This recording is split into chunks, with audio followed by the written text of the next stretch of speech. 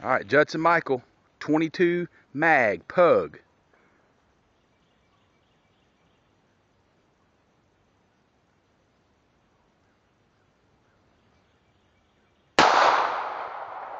Got it.